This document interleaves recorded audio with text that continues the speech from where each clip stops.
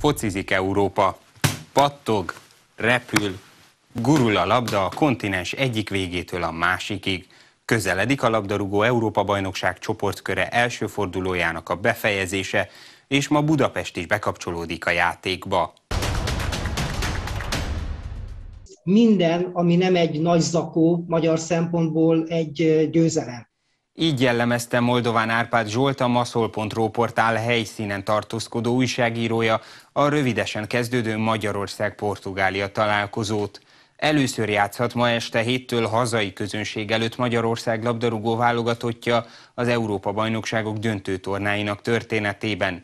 Ráadásul teltház több mint 60 ezer néző előtt, ugyanis Budapest és a Puskás Ferenc Aréna az egyetlen helyszín, ahol a nézők számának csak a stadion valós kapacitása szab korlátot. A Magyarország-Portugália találkozó előtti hivatalos edzésen jó volt a hangulat Márko Rossi magyar szövetségi kapitány keretében, és mindenki azt várja, hogy a csapat megismételje az öt évvel korábbi jó játékot a portugálok ellen. Védekezésben taktikailag nagyon oda kell figyelnünk, a labdát meg kell becsülni sokkal erősebb portugál csapatot látok, mint a 2016-os EB-n, nyilatkozta a Szalai Ádám csapatkapitánya a mérkőzés előtti sajtótájékoztatón. Van az, hogy saját hazai rendezésű EB-n, részben hazai rendezésű EB-n szerepelhet a, a magyar válogatott és pályára léphet. Itt Budapesten az szerintem minden, minden játékosnak a, a legnagyobb álma teljesül, hogyha belegondolok, hogy gyerekként azt mondták volna, hogy két ebén szerepelhetek, ebből az egyik a Budapesten lesz megrendezve, akkor tényleg nem tudom összefoglalni a szavakkal, illetve érzésekkel, hogy, hogy mit éreztem volna, jelen pillanatban pedig egyet kell aludnom ahhoz, hogy, hogy ha a szövetségi kapitánytól is megkapom azt a lehetőséget, hogy pályára lépjek, akkor ezt átéljem. És hogy valóban lehetőséget kap, azt pedig azonnal megerősítette a szövetségi kapitány. Dico ad Adam che Domani gioca di sicuro.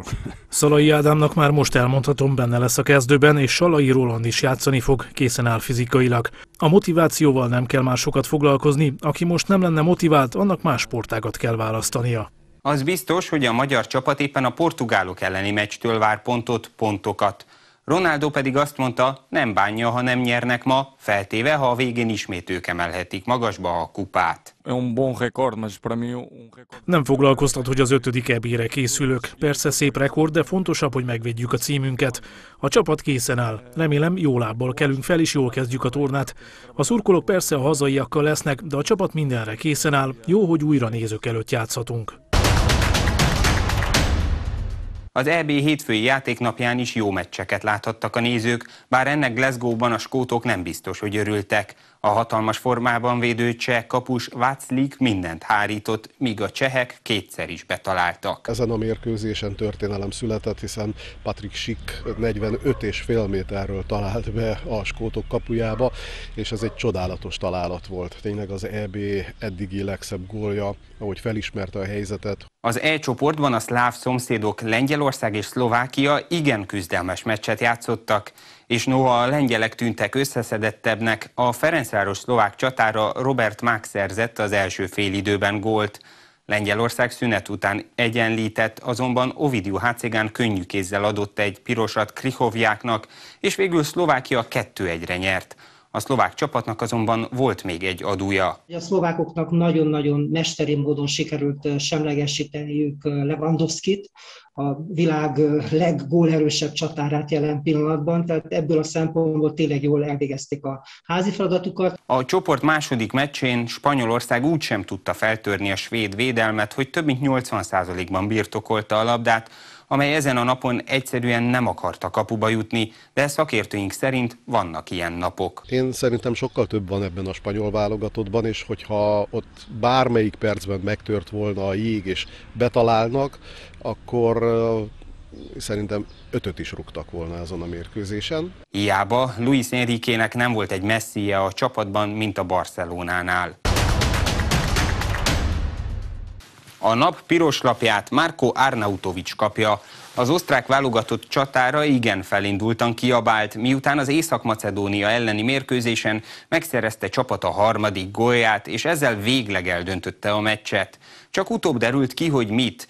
Ehhez tudni kell, hogy Arnautovics bár Bécsben született, szerb származású. Az észak-macedón csapatban pedig több albán nemzetiségű játékos is szerepel, közöttük Alioszki, akivel vitába keveredett a meccsen. A gól után aztán minősíthetetlen szavakkal gyalázta az albán anyákat, és olyan jelet mutatott fel, amely akár a fehér felsőbbrendűség szimbólumaként is értelmezhető. Színesbőrű csapattársa Állábá nem hiába próbálta összeszorítani a száját. Ennyi fért a mai adásunkba, hamarosan kezdődik a Magyarország-Portugália mérkőzés, este 10-től pedig igazi futballcsemege a Németország-Franciaország találkozó várja a nézőket. Mi pedig holnap este jelentkezünk újra ebben az időben.